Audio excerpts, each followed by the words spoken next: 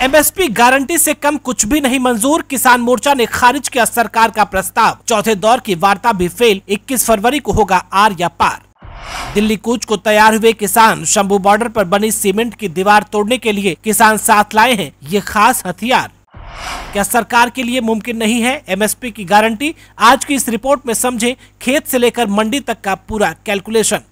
किसान नेताओं और सरकार के बीच एमएसपी सहित कई मांगों पर एक बार फिर सहमति नहीं बन पाई है, जिसके बाद किसान संगठनों ने 21 फरवरी से दिल्ली कूच करने का ऐलान किया है। इसे लेकर किसान तैयारियाँ कर रहे हैं। इस बीच शंभू बॉर्डर पर प्रशासन द्वारा बनाई गई सीमेंट की दीवारों को तोड़ने के लिए किसान एक खास हथियार लेकर आए हैं। किसान नेता नवदीप जलबेड़ा पोकलेन मशीन लेकर शंभू बॉर्डर पर पहुँच गए हैं। पोकलेन मशीन की मदद से प्रशासन द्वारा बॉर्डर पर लगाई गई सीमेंट की दीवारों को किसान हटाएँगे। किसानों का कहना है कि सरकार की नीयत में खोट है। सरकार हमारी मांगों पर गंभीर नहीं है। हम चाहते हैं कि सरकार तेईस फ़सलों पर एमएसपी यानी कि न्यूनतम समर्थन मूल्य का फार्मूला तय करे। सरकार के प्रस्ताव से किसानों को कोई भी लाभ नहीं होने वाला है। बता दें कि किसान नेता पढ़ेर का कहना है कि हम 21 फरवरी को दिल्ली कूच करने जा रहे हैं। सरकार से आगे फ़िलहाल कोई मीटिंग नहीं होगी, लेकिन हम बातचीत के लिए हमेशा तैयार हैं। डल्लेवाल ने कहा कि हमारी सरकार से अपील है कि या तो हमारी मांगे मानी जाएँ, या फिर शांति से हमें दिल्ली में बैठने की मंजूरी दी जाए। हमारे सभी किसान भाइयों से अपील है कि वो हिंसा न करे। दरअसल रविवार को किसान नेताओं और केंद्र सरकार के मंत्रियों के बीच चौथे राउंड की बातचीत हुई थी। इस बैठक में कृषि मंत्री अर्जुन मुंडा, वाणिज्य मंत्री पीयूष गोयल और गृह राज्य मंत्री नित्यानंद राय मौजूद मौजूद थे। इससे पहले केंद्र और किसानों के बीच 8, 12 और 15 फरवरी को भी बातचीत हुई थी। अब तक की बैठकें बेनतीजा रही हैं। हालाँकि रविवार को ही चौथी बैठक में सरकार ने किसानों के सामने